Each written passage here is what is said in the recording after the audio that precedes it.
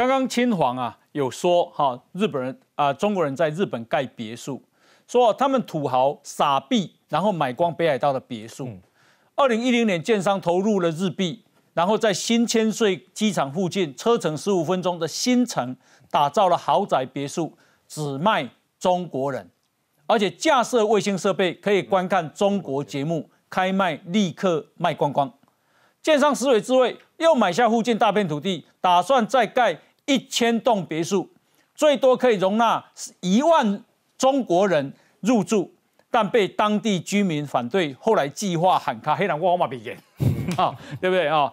然后说中国富豪不住别墅，还向日本人说：“那你们不准经过。”中国客人从发放签证宽松的冲绳入境，观光签证。可以延到九十天，然后从冲绳到北海道去找土地，并在当地设立法人，只要有五百万日币资本跟两个以上的员工，就可以得到中长局居留的经营管理签证。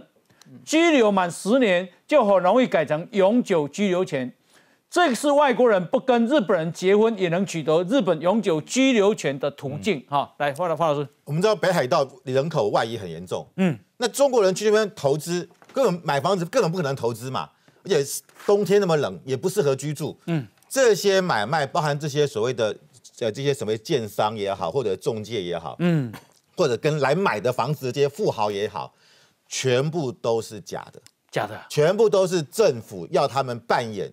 你扮演这个中间商，但是他们一开始会通过华侨，当地的华侨，还有中国的这些侨务的体系动员，因为因为华侨在那边很熟嘛，日文也流利嘛，哦，通过当地的侨领去接头，然后这些也是跟中国统战部合在一起，然后由这些所谓的啊大盘商来去，然后再找这些富有人来，这些人也都是被驱驱使的，那些房子里面到时候可能也不是这些富商来住，是国家派人去那边住，嗯，为什么？北海道我们看到人那么少？但是什么多？基地多哦。为什么？它距离俄罗斯、距离北韩都近。嗯嗯。我们知道中国、日本跟俄罗斯、俄罗斯最大的矛盾是什么？北方四岛。嗯。就是国后、色丹、泽捉跟慈武这四岛。嗯。这四岛刚好就在北海道跟千岛群岛中间。嗯哼。千岛群岛再上去叫勘勘察加半岛，是俄罗斯一个非常重要的基地。嗯。另外跟西伯利亚隔着海，另外跟北韩也接近。那中国，我们不要以为它跟俄罗斯关系很好，哎。嗯，中国当然没有错。一九四九年，中共的建政是俄罗斯提呃苏联提供的。可是我们不要忘记，一九五八年毛泽东跟赫鲁雪夫彻底翻脸。嗯，一直到一九八九年，戈巴契夫当时来北京访问，才结束了长达三十一年的一个斗争。嗯，而且中国跟俄罗斯的关系永远是表面上看起来很亲密，那是因为俄罗斯这这几年因为。啊，他这个有一些呃领土的问题，他被中是西方国家所制裁，嗯，所以他跟中国走在一起。那中国因为也不断的扩扩扩岛礁，所以双方面因为都被国际间所指责，所以走在一起。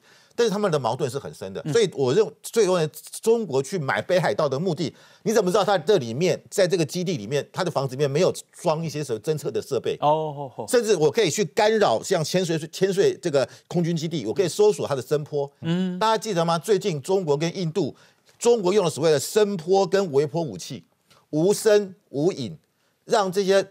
印度的军队，第一个头痛剧烈，嗯，然后声波会干扰他的神经，然后他整个人呕吐，然后晚上睡不了觉，第二天早上精神无精打采，根本不能打仗。嗯，这种声波武器，这种微波武器，你完全不知道，它可以分散带进去。如果我今天在日本的这个千岁空军基地，我用这个声波，嗯哼，你整个军队瘫痪掉了。那日本知不知道说他们来买的都是假的？日本当然知道，所以才要禁止啊。嗯，你说你说中国哪一个商人跟政府没有关系？哪一个企业跟党委没有关系？嗯，我就用一种很零散的方式，假扮你是富商去买，嗯，化零为整，哦，到最后这个地方就变成我中国特区。嗯，刚刚讲过，连北海道人都不能进去哦。哦，那变成是我一个中国的一个特区，去对国中之国。嗯哼，这个地方对。于日本的国安来讲，对于美国来讲，对于俄罗斯讲，都是很大的威胁。嗯，所以我觉得现在北海道日本这个中国人去北海道，绝对不是为了白色恋人啊！大家不要不要以为 不要以为那么简单，就是为了军军军事上的目的，还有未来它那个地方可以作为钳制日本的很重要的一个工具。不过刚那个报道讲没有错了，就是说现在日现在中国大举入侵北海道哈，我觉得食髓知味。可是，一开始就刚刚瑞德哥讲的，就开戏为什么那个二零一零年开始卖别墅？那个《非诚勿扰》那部电影。在中国北个雄厚，你知道吗？哦，那那电影在北海道拍的，嘿，去的时候在龙一个连兰都去过，那什么洞爷湖啦，然后那个朝露思园啦，然后那个什么什么什么教堂，有的没的，哦，很漂亮，就大量的中国观光客去，可是去啊，你不能怎么盖中国观光客嘛？啊可中国一开始觉得不爽，是吧？那土豪说啊，我去旅游啊，干脆我自己买，哦，旅游到最后自己买下来，所以一开始确实是这样。那日本在所谓的外国人土地法，还有一个叫外国人土地法，可是规范非常非常的宽松，哦。我朋我有朋友是台湾人，他本来在上海做生意，是做高尔夫球的。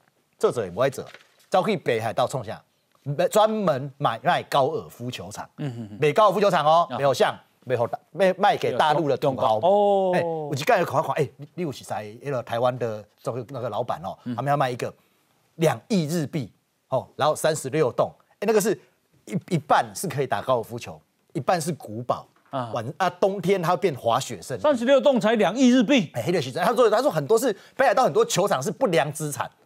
让你很觉得你匪夷所思的情况，两亿日币换老师也有啊，可能有啊，但是但是我没有问老师要不要买，球场只有动啊，对，哎呀，嘿，他那那个情况是大量都你你我们都还没开口问，大量的中国的土豪就开始买，嗯，那个我印象很深刻，那那个那个真的很漂亮，它是一个古堡，然后一边是球场，嗯，冬天滑雪，夏天打球，对，在新追新刚才讲就在新鲜翠机场，开车出去十分钟就到，嗯，就他标榜你惹回去了再开始拍球，哦哦哦啊。这块的名物件都贼啊！一开始买买买，我觉得土土豪们买到食髓知味，买到整个这个这个从 从 Sapporo 开始往外整个开始买，哎砸，然后开始一路买买买买的，然后土豪买了之后，我觉得就如黄范老师所提到的，哎，中国官方觉得可以上下其手，嗯，所以开始也介入，而且他们的这种买卖不是只有买球场。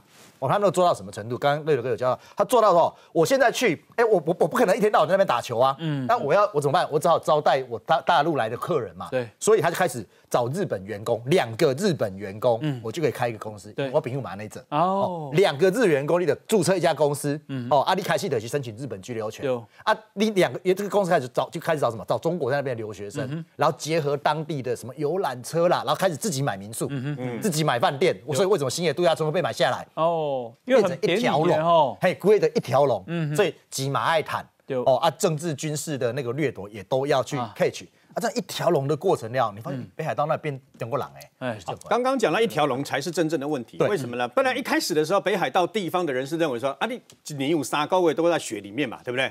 那你赚不到钱啊，那你可以增加把失业率真正能打球的只有半年哎，对，那因为太冷，然后那个还有包括雪，那个太厚了，你知道吗？连税金嘛扣不掉，为什么？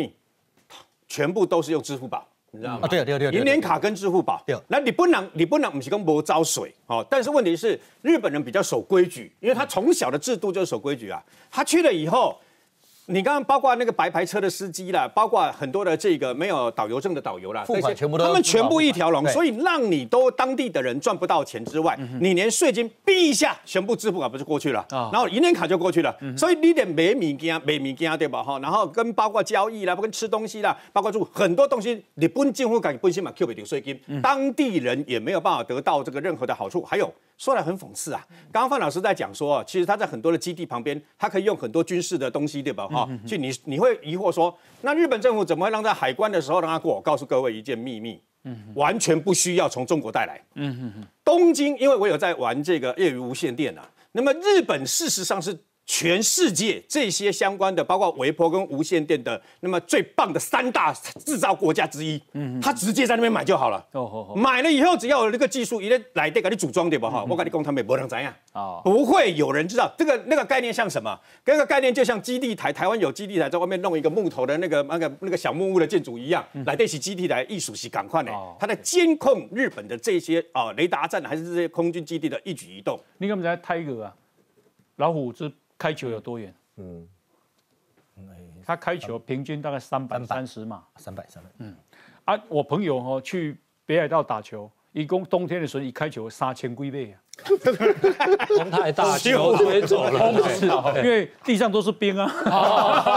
那打打下一杆要走很久，还可以从日本海开到鄂霍次克海。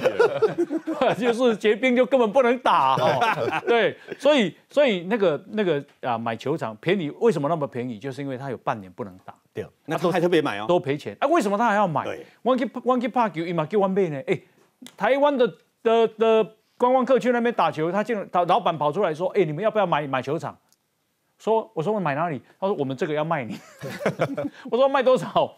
六千万台币。嗯，那也差不多不到两亿日币。那也才被动年，你也三十来多。对对对。哦，你想一想，台北的一间房子有时候都不止六千万台币。对，嗯。可见他都赔钱嘛？那请问赔钱你买来买下来干嘛？对，对不对？好，所以。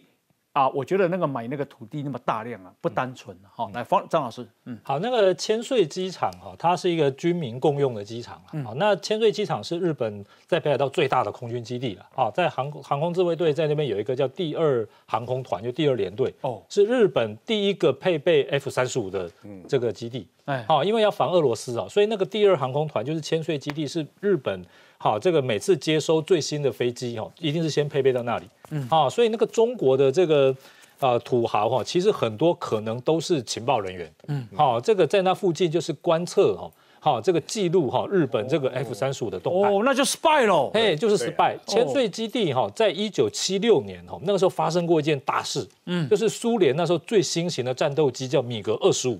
好，从这个俄罗斯哈有一个飞行员就叛逃，嗯，好就飞往日本，就直接降落在那个潜水基地，嗯，好，当时呢这个日本的雷达哈还没有发现，结果等到他来的时候哈，日本方面大惊失色，所以后来日本把最新的雷达，好爱国者飞弹，还有它的这个预警机哈，通通放在那个地方，嗯，啊，所以呢现在日这个中国在那个地方积极的活动哈，其实这个想要试探。日本的军事机密哈，那是一定的。然后日本哈，其实北海道因为地广人稀，所以它也是这个他们的这个陆上自卫队最大的演习场。对，好，这个比台湾的演习场大很多。我去北海道的时候，冬天哈，好在比较偏远的地方，道路经过哈，可以看得到这个自卫队员在架线，因为在附近在演习，哦，还可以听到炮声啊，啊，所以这个中国在那边活动哈，它的这个。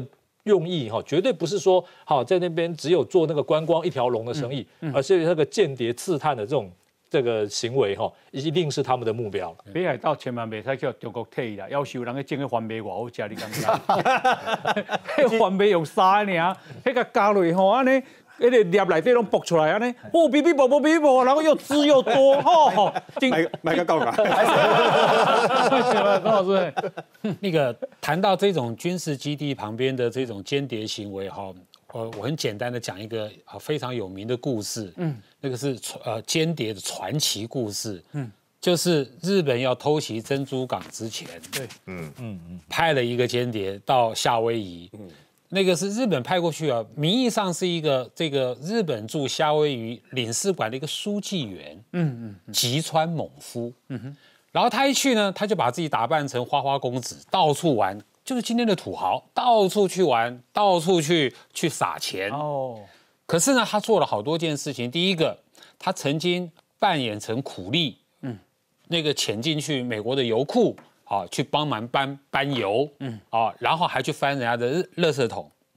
第二个，他扮演成美国那个那个俱乐部，美国军队那个里面的那个俱乐部里面的那个钟点工，去帮你擦桌子、擦桌子，去帮你端端盘子啊。听听这些美军在讲些什么。嗯，更重要的，他后来发现，原来那个这个珍珠港的这个基地旁边的山上就有一间日本餐厅。他赶快把那个日本餐厅整个包下来。后来呢，他每天在记录，就是东京大本营给他九十七个问题。嗯哼，哪九十七个问题？简单的说，他必须知道第一个美军军舰、战机活动的频率跟次数，还有停泊的位置。嗯，第二个海岸的坡度，第三个海潮的流向。水中的障碍物等等等等等，一共是九九十七个题目，他完完整整的都已经完成了。然后呢，回去等于报告，所以说后面才有偷袭珍珠港的成功。美国没有发现这件事情，是这个人自己后来写了一本回忆录，叫做《潜伏夏威夷》，才把他那个细节透露出来。不然美国还不知道潜伏在夏威夷，潜伏在夏威夷。所以。它就变成是，其实是各国情报界的一个标准的传奇典范学习的对象。嗯哼哼，你看啊，综合我们刚才我们我们前面几几位来宾啊的讨论哈，你把它结合起来，就是说听起来已经不只是一个经济的问题，也不只是一个间谍的问题。嗯哼，你你弄一个间谍站，你不需要买。二十八个台湾大的连哈那个土地哪那么大？那是要干什么？听起来倒像是武装根据地。嗯嗯嗯嗯，就是说这个东西呢，哈，你买那么大片的土地，它会有很多种功能在里面的，这已经超过那个间谍渗透的范围，它已经会往往那个破坏，好，这个这个我刚刚说的武装根据地的那个方向在走了。嗯哼哼，其实这个就是非常典型的，就是说。你借由我们民主国家的这种自由开放的制度，借由我们对财产权、交易权、隐私权的保障，但是你在干这种事情。对，那我我觉得这个利用我们制度上的漏洞。对啊，还不只是日本，其实在美国是一模一样的。所以在美国啊，二零一九年抓到两次，等于说美国的，而且是佛罗里达州的海军基地抓到了一个中国的观光客不小心进去。然后呢，说他拍照被抓到有，你拍什么照？在拍日出，就抓到了里面里面拍照的像不是是这个港口设施，在这个美国的一样，呃，维吉尼亚州的军事基地抓到一个，说他什么迷路，中国间谍迷路也是在拍照。嗯，后来在德州哦，这个这个美国的大亨巴斯那个金融大亨啊，哦，开巴斯，哎，对，他就发推特文说。据他所知，有美国的呃，有中国的前退休将领在美国德州买大片的土地，而且靠近军事德州的军事基地。嗯哼，所以这些事情其实都不单纯。这这个就是这个了，是这个董老师讲的就是这个了。嗯，中国人民解放军前将领买入两百立方十三万英亩的土地了，哦，相当于奥克拉荷马州塔尔萨斯市。或半个香港的面积啦，两百英里才两百英里。那这个人叫孙广信呐，孙广信啊，他是是老跟老共很有关系的，他很有钱嘛啊，对。所以你会怀疑，你要搞那种间谍渗透哦，是一个据点就够了，而且要越隐蔽越好。对，他现在不是哎，他现在是大片大片的，所以我就觉得这已经超出那个间谍所需要的那个需求了。是，好，这是一个。那另外一个，我觉得比较重要的，是让我比较担心的，就是说你你中国去搞这个美呃日本的，刚刚谈到的哈，北海道最北边的北海道最南边的这个冲绳，那是针对日本，好，也是就跟我们刚刚谈到的针对第一岛链。但是你去搞美国的哈，你竟然不是搞美国西岸的军事基地，不是，嗯，你是在搞美国东岸的。我刚刚说佛罗里达州的军事基地，还有南部的德州的军事军事基地，还有中间的维吉尼亚州，嗯，在美国那个国土中间呢，这个就更不单纯了。就是说，你不是你呃，中共所考虑的已经不是说在太平洋的战争的问题，而是说他已经把这个手。伸进了美国的大后方，哦，所以我觉得这个事情是值得美国、日本啊，其实所有的同盟国家哈，要好好深思的。哎，来，范老师，其实我们可以看到，就是说，他是一步一步，让刚刚讲一条龙，他先一开始是以观光的名义啊，观光客很多啊，然后买饭店，然后再就是富豪土豪买房子、买别墅，对，然后再来买球场，越买越大，然后再来就把在日本的中国留学生慢慢的往那边去去打工，嗯，然后获得居留权。最后有可能北海道会产生中国籍的议员出来，嗯嗯好，甚至不一定是中国籍的啊，例例如说日本不给他国籍，只给你居留权，那我可以扶植亲中的人士来担任对在北海道知事，金主澳洲就有这种，澳洲就有这种对，他当金主就对，然后你看他为什么？因为日本。你说那个本州啦，九九州有啊，台湾也有啊，对啊，台湾也有，对，也有啊。你说，你看日本的本呃本州、九州四国这些地方，因为它是比较都会，嗯，中国手伸伸不进去，而且它成本很高，所以它专门找偏远地方。北海道是一个嘛，对，人少，地广人稀，嗯哼，很多事情也不会新闻也不会报道。另外就是刚刚讲过的 Okinawa，嗯，也是就一南一北哦，对，都是外移人口很多，嗯，本地人口很少。然后土地便宜，对，然后有战略价值。嗯哼，你光是看琉球群岛有两个美军基地，一个是加手纳空军基地，一个是普天间空军基地，还有就是他们在当地的陆军的基地。嗯所以在那边买房子就可以前置美军的基地，嗯然后又可以前置台湾，嗯又可以前置关岛。嗯，所以中国在印美等于在日本的一南一北，他都在那边部署。嗯哼，所以我觉得这个东西的确有刚刚刚提到，就说。我们这小日而且而且日本的这当地的当地的地方政府呢，又特别欢迎，因为他觉得哎，这可以增加我的投资啊，增加我的税收啊，哦，对，增加我的就业啊。可是到就像刚瑞德哥讲的，完全被掏空，因为他到最后呢，一开始当地劳工民众说很好啊，我们有就业机会，拍谁哦？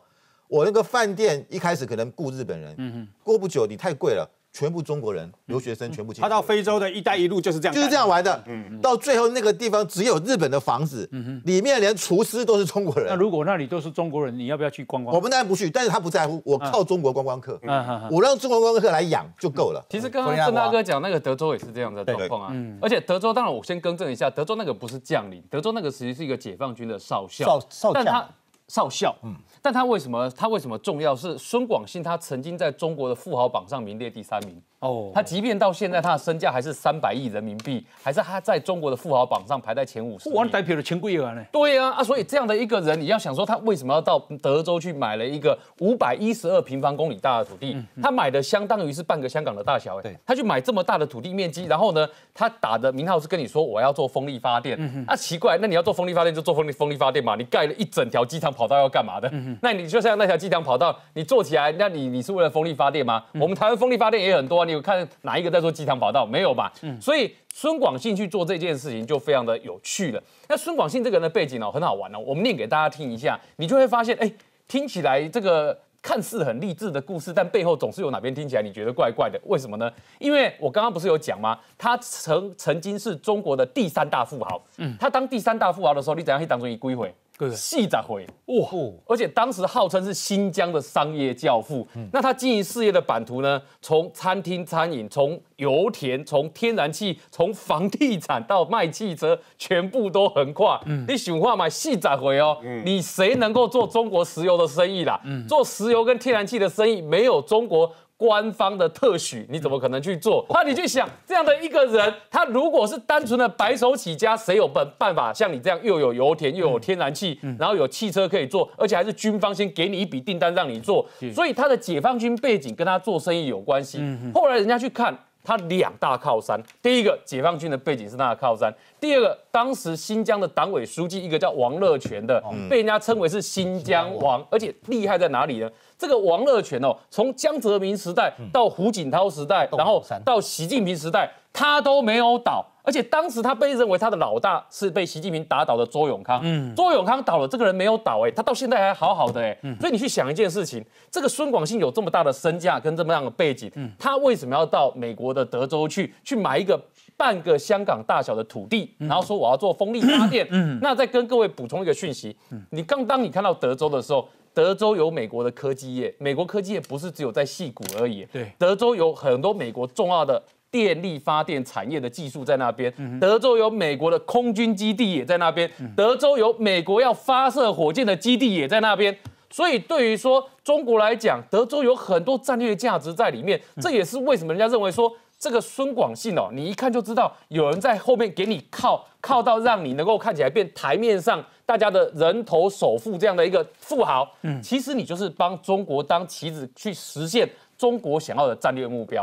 不，中国这些后来赚很多钱的人，大概下场都不一定好了。OK，好，那我们来关心澳洲啊，澳洲近景啊，说因为他们卖澳洲昆士兰政府啊卖了这个凯瑟克岛。的租约给中国，说租九十九年，但是岛上的居民控诉说，自从卖给他们以后，生活处处受限，而且被要求三天内要打包走人，怒骂说这座岛已经变成中共的财产。不过啊，澳洲啊，诶被中国制裁之后，到目前没有屈服啊。那澳洲跟中国的关系会怎么发展啊？等一下我们也来讨论。来，我们来看部戏啊。诶，我先请教张老师，你干嘛？哎，澳洲也先导航啊，中国会投降？我认为澳洲投降的可能性不高啊，因为毕竟它也还是一个经济大国了啊。它对中出口其实对它当然经济很重要，但是不是全部了。而且更重要的是哦，澳洲人长期以来对中国已经很反感。哦，好，这个反感呢，除了像刚才讲那个战略性买地以外，哈，其实中国人去澳洲炒房地产哦。这个让澳洲本地人的房价高涨哦，好，这个已经是他们非常头痛的问题。因为澳洲人呢，其实没有人在用现金买房子的。结果中国一来哈，第一用现金买房子，啊，所以呢，在雪梨、在墨尔本哦，好，那个房价可以说是暴涨。好，这个对当地人的生活其实就很不舒服。那第二个哈，现在中国人买房子哈，还把另外一个观念哈引进澳洲，什么呢？风水。嗯哼，好，他们的风水概念非常奇怪，就是说以前呢，这个澳洲人知道说中国人买房子哈会在乎说啊，你这个房子要坐哪里，朝哪里，好，然后这个这种风水哈，这个他们是了解。可是哈，这个中国人跑到澳洲哈是买区域的，譬如说墨尔本，很多中国人来了。对，那么这为什么？因为中国的有一个风水大师在澳洲华人圈非常有名，他说，呃，墨尔本哈是有龙脉，所以呢，在墨尔本买房子哈。最重要的哈，就是在那个墨尔本的这个龙脉的这个龙心之处哈，就是在墨尔本近郊有一个区，就算一个小城叫唐卡斯特哦，所以龙龙心，所以唐卡斯特房价暴涨。嗯哼，后来唐卡斯特很高了哈，它附近有个地方叫 Buck Hill，嗯，好，就是这个这个这个简单讲，方叫香山哈，嗯，香山的他们这个风水专家说哈，这个是龙头。所以它整个房价又涨起来，然后呢，涨起来之后，另外一个地方叫做那个韦佛利，嗯，好，韦佛利呢说那个地方叫龙腹，哦，这个澳洲人目瞪口呆，爆压了，龙腹，龙腹，龙的肚子哈，所以龙心买不到，龙头买不到，买龙的肚子，所以那个地方又暴涨，所以它那个是整个区域哈，说这个地方的风水是龙头、龙心、龙腹哈，马上那个地方整个就暴涨，所以现在整个雪梨、墨尔本哈，对这个。这个中国人抢购房屋哈，澳洲政府担心的是战略性，像刚才讲的，好买军事基地，好要控制这个商务啊，控制交通。澳洲一般人哦头痛的是什么？基于中国人这种风水说哈，不是单一房屋涨价，整个区的房屋啊，说中国人来说这个地方是龙什么龙脉哈，那个地方房价就涨了，澳洲就不用住了。我觉得全世界最觉醒的应该是澳洲，嗯嗯，因为最痛最痛，好对不对？那这会会接下来会怎么发展？接下来刚就就刚刚问的问题啊，中澳之间到底澳洲会不会先屈服妥协？我觉得难度非常高啦。哦，因为澳洲本身自己经济可以自给自足，嗯，好，然后第二个，它这几年来其实已经走在最前面，立了各式各样的法，还有各式各样的政策，在想办法去区隔中国人。嗯，澳洲人口哈，澳洲才多对不？人口才冷清冷清三百万，跟台湾差不多嘛。他澳洲才两千三百万人，对，然后他的中国移民一百五十万，哦，非常非常惊人。所以其实那所以刚刚讲嘛，澳那个澳洲那个那个那维多利亚省的省，它是最大省的那个省的选举，中国的移民是可以影响左右那个选举，已经可以选出，所以选出是亲中的省长，选出亲中的议员。哇，所以你看你看古尼告金马切的制裁哈，那个省基本上比较少被制裁到。哦，那我讲澳洲，刚刚前面讲那个日本的这些买地的故事哦。澳洲其实感受就挺啊，就是跳嘛跳几这，那大家都知道澳洲是五眼联盟嗯。嗯。的一个重要的据点嘛，它在澳洲的中部那个叫做松树谷的地方。哦，那个地方是有它的基地，那那个基那个基地的雷达是负责整个南半球的的基地，那个基地其实就独掉比比够朗利外，连澳洲人都不能进去啊，那那除非你是军方的人，可是呢，就有那种中国的富豪在旁边开始买地，要盖牧场，啊，要开始盖什么，就旁边的那些地哦，都都都被中国富豪买起来啊，跟那那是原住民的土地啊，跟澳洲原住民混得很好，因为给很多经济利益嘛。那透过这种方式，在后来才被澳洲政府发现他在干什么？嗯，他透过这种方式进驻到那边，然后找中国的表面上是工人，事实上可能是工程师，可能是军人，在监视松树股里面的一举一动，嗯，甚至可能包括你进出中入股的那些人是谁，长什么样子，可你都可能记起来。嗯这澳所以澳洲从其实这有就心中的从从那个地方，你想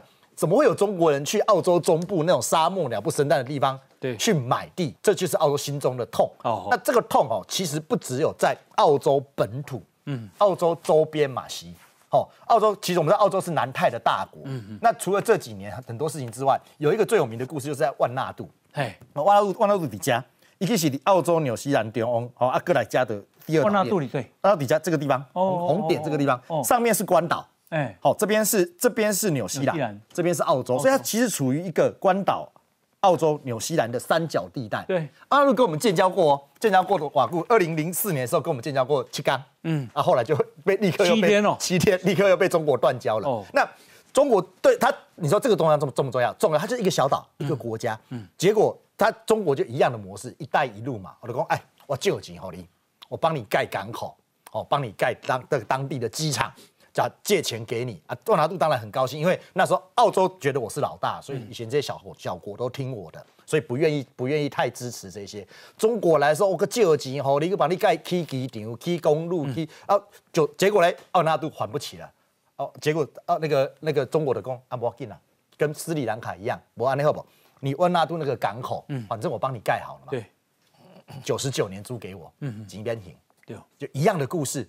就奥纳度没有办法，因为欠人家钱嘛，逼到这种程度。后来澳洲才发现说，哎，不对哦，你已经亲门大户到到到这个我们家前面了。嗯嗯嗯。就澳洲才出手说，你到底欠万纳度，你到底欠澳欠欠中国多少钱？对啊，不然我你停停哎，哦，我来帮你还这个贷款，你转向澳洲贷款，我然后你转向把澳洲的贷款拿去还中国。对，但是港口绝对不能租借给中国。你想，如果中国在这里租借了港口？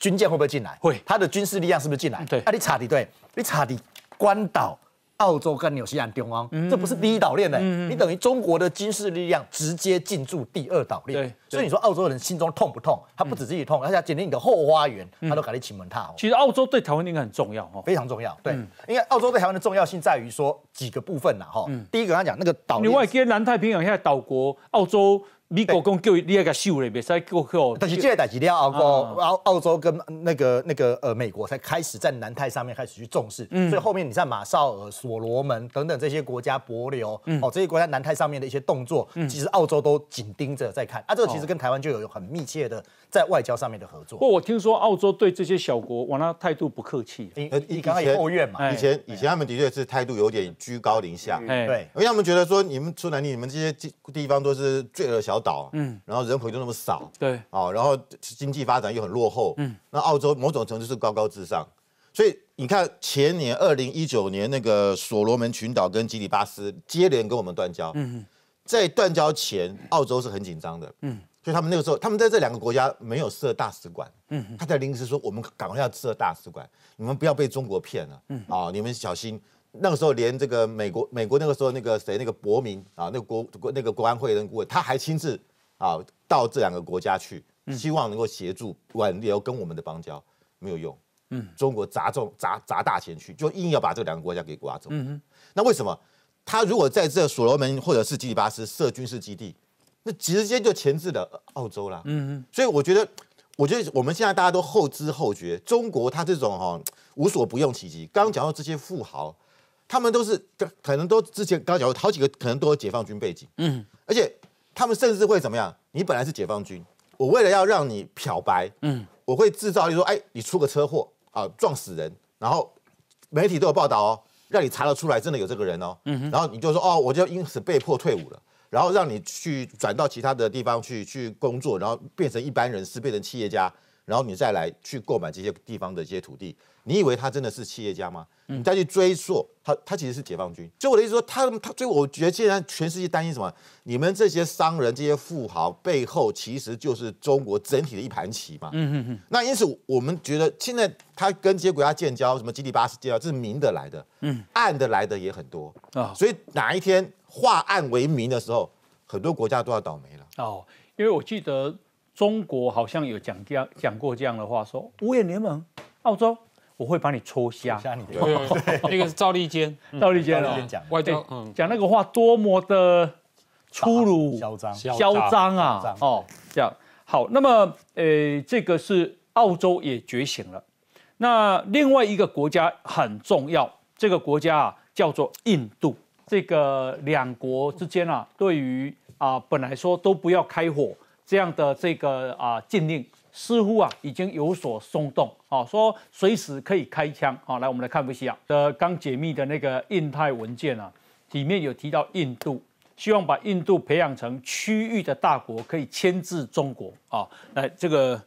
没错，嗯，那么刚刚讲的这个呃，包括中国故意去用那个狙击枪，呃，解放军那个狙击枪在准备要开枪的那个画面，还有坦克啊，它现在有多种，包括十五式的轻型坦克，这个适合攻打台湾，中国一定也会用十五式的这个坦克，为什么呢？因为它呢面对一些崎岖、奇奇怪怪的这个地形的时候方便，它也用在那个高原地形上面，所以它的十五式坦克跟各式的坦克呢，现在都部署在那个地方，然后那个地方喜马拉雅山是零下二三十度，对不对？嗯，十。十万大军双方集结在那个地方，对，十万哦，你知道吗？那个地方本来只要大概五百个人哈，互相呃了不起五百个人对峙这样就好了，基本上砸万大军哦，五万五万啊，十万大军哦。我跟你讲，如果按照如果你要讲武器，那我很坦白告诉你，如果要讲武器跟相关的这个战斗实力的话呢，中国远高于印度。嗯，但是如果限缩在喜马拉雅山的那一块拉达克班公错湖那块地方的话，我跟你讲，如果真的站出来战开始打仗了以后，对不对哈？印度只要打一个小胜仗，他就赢了。嗯，所以现在想打的人是叫印度。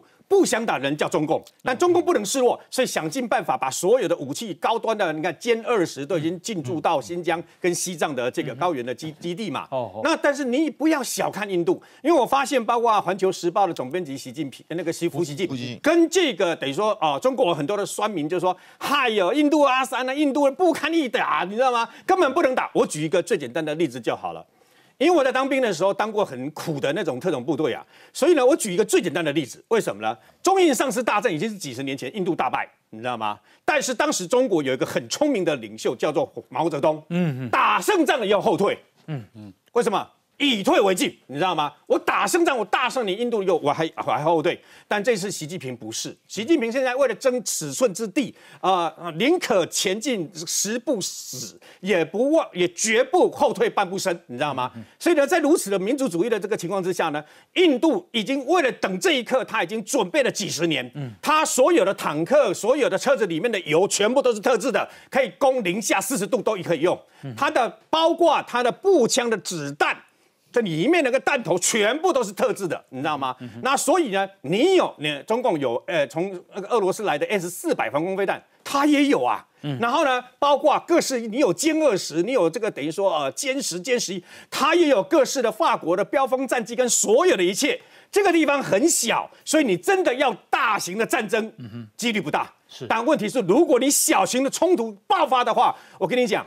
你知道吗？当印度在帐篷里面，对不对？当他们弄个冰爪啦、冰斧啦，然后在冰地里面训练的时候，你知道解放军的大内宣是指什么？说他们的部队在他们盖好的零大概半固定式的那个营房里面，享受的摄氏十五度的温度恒温，每天可以洗热水澡。我问你，零下三四十度，外面是零下三四十度的战场，你在里面每天十五度。还可以洗热水澡，可以吃火锅，对不对？过年的时候热腾腾的火锅，起码突然间被震惊。嗯，我问你，你有没有本事在外面那个环境下撑三天？啊，这样就好了，你就知道现在中印边界最不想打的人，其实叫中共。好，这个来宾要补充哦。不过我们等一下回来，请大家看一下，因为本来解放军很会宣传，那后来啊这一张照片公布出来，他们才说哈，我们的解放军是住这种环境哦。请大家看一下，这是中国的党旗，然后这个解放军是睡在这种土坑里面。等一下回来我们继续讨论。来，先休息一，进广告。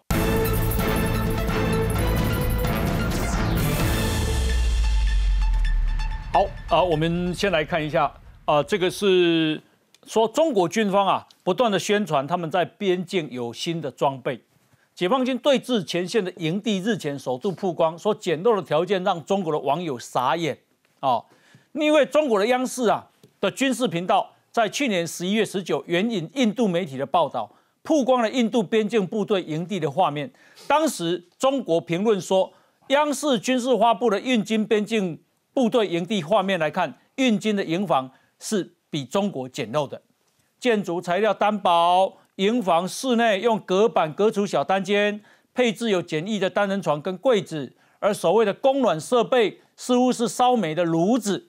还有烟囱通往室外，可是呢，亲中的华文媒体叫多维新闻报道，这张照片首次曝光解放军对峙前线的简易营地，有彩色布条遮盖，在这边，彩色布条遮盖，上面还有一面中共党旗在这里，其中有五个士兵呢席地而睡在这里，啊，一旁有一个取暖炉，取暖炉应该是这个了，啊，然后这个士兵睡在这里，那看。看到这张照片，说啊，这个中国不少网友大吃一惊，哈，原来是睡这样啊！哎，王王老师要补充，是没有错，讲中印的问题上面，这刚好也是这段时间哈。刚刚讲，你看说，哎，中国在这个跟印度的对峙上面，内宣做的多多么的成功，被表示表的者哈，这个我待会再来补充一下。但是没有错，实在是太广啊！一月份的时候冷到什么？冷到本来讲说五万大军对峙嘛，就中国在一月中旬就宣布说，对不起，我一万撤回来。因为太冷，太冷，那个叫转进。啊，对，转进。哦。可是很好玩的是什么？很好，是中中国在这种所谓跟中印对峙上面，他要的是一个宣传，说他没有退让，没有退却，嗯，哦，他其实不想也不敢跟印度打，他可是他怎么做内宣？哦，这有那个在呃一个中国最高的兵营啊，哦，在五五九，他们叫五五九二，叫海拔五千五百九十二公尺，嗯，哎，这快了，哎呀，这差不多零下三十度收在，即将五高拐，结果。他们发出了那个请战书，写什么？他也就是说，他就在高高喊说：“我请战，嗯哦，然后我要把我的这个鲜血洒在祖国的界碑上面，而且不止一个哦，各式各样的、各式各样的这种请战书都有，嗯。”哦，那内容上面都大概是这种慷慨激昂的文字，譬如说，你看这就提到说，都很像以前在成功里。对对对，我我这个 我这个脚下踩的土地哦，谁不想跟家人团聚？但是我为了守护哦这个国界，我愿意，对我愿意牺牲哦，我请我请战是南海血书了，对哎，奇怪，五五九二的请战书。哦，你这么高这么冷，哎，一月份你要请最高少界，五五九二，然后而且在央视，在在这个各大的人民日报这种媒体上面去播播出来，你到底是内宣还是真的要跟印度打仗？其实就你知道他们的宣传工作做得很好。就是说，在那个四千公尺中印边界那个地方，即便是夏天都是零下十度。嗯哼，而且我们想想看啊，就用我们台湾做例子哈，我们台湾玉山就好，三千公尺以上的高山。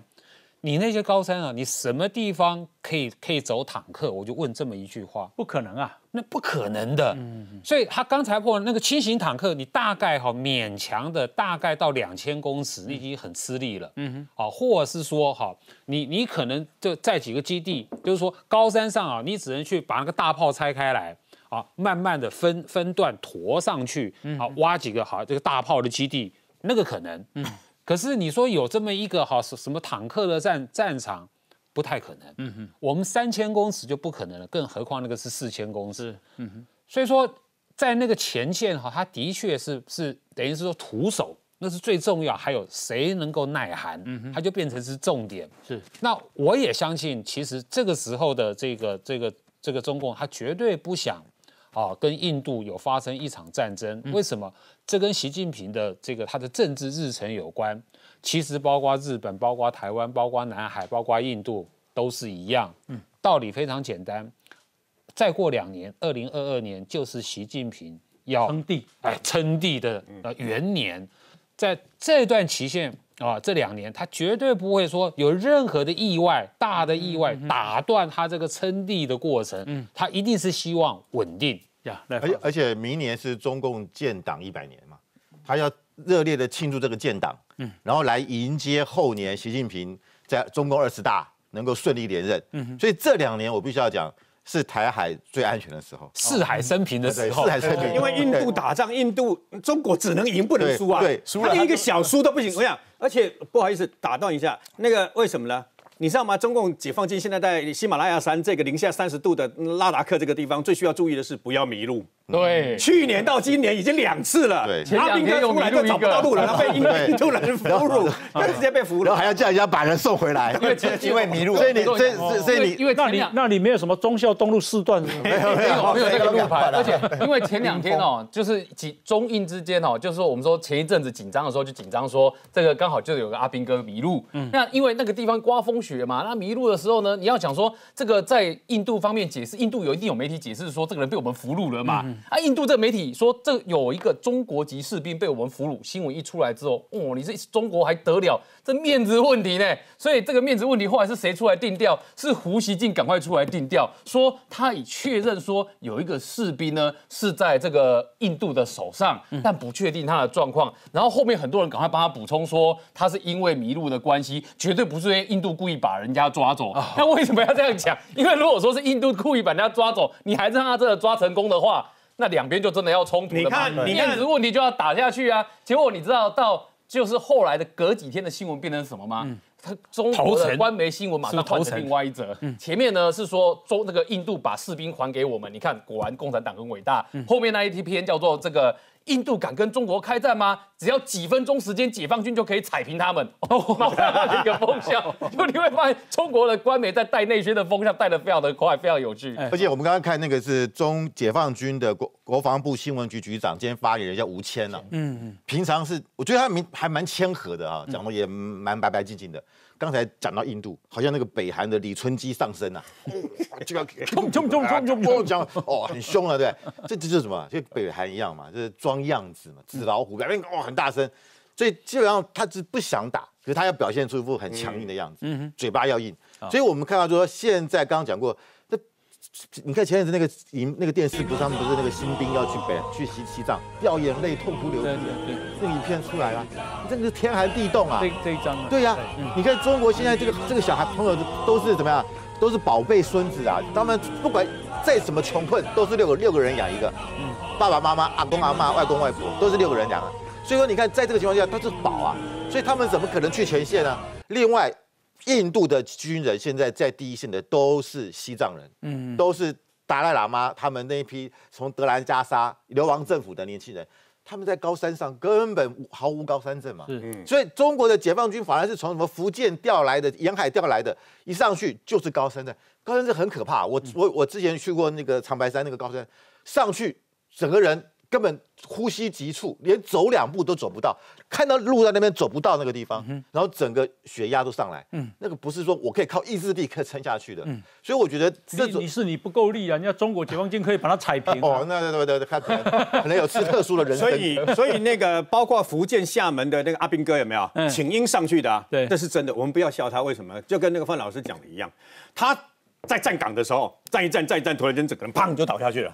这就叫高山症、高原反应。我跟你讲，不是你呼吸急促，不是你盗汗这样而已哦，你还会呕吐、恶心，然后最主要是你的头。就好像有个那个紧箍咒就弄到孙悟空的头上一样，你整个人被绑住了，然后很痛苦。这样，我问你，这样怎么跟人家一天到晚如履平地的这个相关的印度的藏人啊，这样部队呢，那么去相提并论呢？而且他们平常就在这个地方准备。我讲白了啦，为什么印度会用这些藏人？他恨你解放军已经恨你几十年了，所以呢，用他们那种是不一样。打仗打的是一个士气，打的是一个自己本身的毅力啊。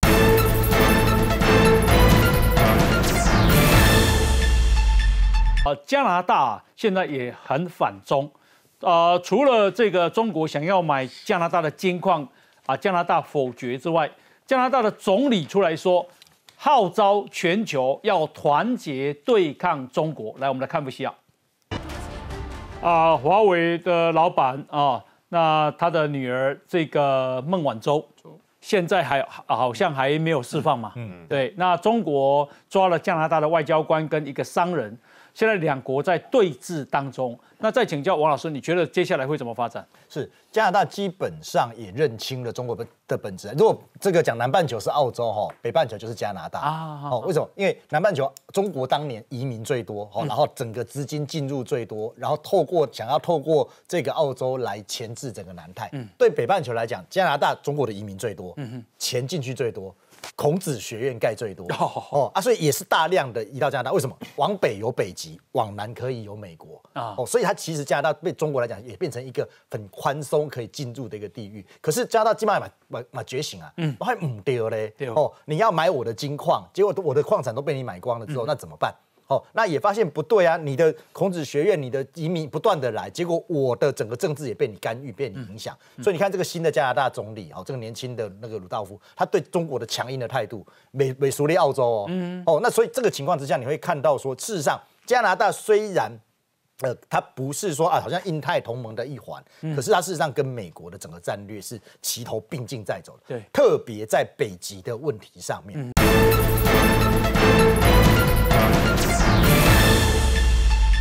我的整个政治也被你干预，被你影响，所以你看这个新的加拿大总理，哦，这个年轻的那个鲁道夫，他对中国的强硬的态度，美美熟立澳洲哦，哦，那所以这个情况之下，你会看到说，事实上加拿大虽然，呃，它不是说啊，好像印太同盟的一环，可是它事实上跟美国的整个战略是齐头并进在走的，对，特别在北极的问题上面，我觉得这次金矿哦，表面上是矿产。事实上，后面是刚才那个比赛讲到，它是北极的问题。嗯，因为你可以看到中国想要染指北极。对，前面清华有讲过，北极的重要在哪里？有几个重点。第一个，北极航道，你想丢过到北到北边过去，冰上丝绸之路，时间走南边减少一半。嗯，你同样到欧同同样到欧洲去，时间减少一半，钱就减少了嘛。对。第二，对你来讲，寡情商嘞，没有马六甲海峡，不用看美国脸色，不用经过印度洋。不用看印度脸色，你那北冰洋鬼哈，觉得加拿大几个俄罗斯，好，他基本上他觉得相对而言战略上压力小非常多。对对哦，然后北极还有第三个就是它的矿产很多，也石油也天然气，哦啊也稀土。哦，都非常的非常丰富。那如果先，因为北极是无主地嘛，对，先占先赢，嗯，这跟南海一样。所以人家都怀疑说，中国是不是在复制南海战略，嗯，要在北极再来搞一次。哦，这个其实就让加拿大非常非常的忧心。那张老师，你看孟晚舟什么时候放？孟晚舟大概很难放，可能要刑满才会放。现在没有判刑嘛？判刑还没出来。对对，就刑现在还没有宣判，还没有定验嘛。哦。因为孟晚舟其实在这个那些完球给当了。对，目前这个 得到的讯息是他对于对他的控诉哈，有些是认罪。哎。那既然认罪，就一定会有刑期嘛。嗯。好，那这个当时呢，这个其实他说啊，这个交保改电子脚镣就是拘禁在家，其实就代表他对某些。控诉是认罪，嗯，啊，你已经认罪，所以你就没有脱逃的必要嘛，就是对这几项你已经 OK，所以才让你等于交保一样。啊。啊，所以这个目前看来孟晚舟哈，恐怕接下来会是中国跟加拿大甚至美国哈未来的外交的一个重点。啊，就是这些孟晚舟到底。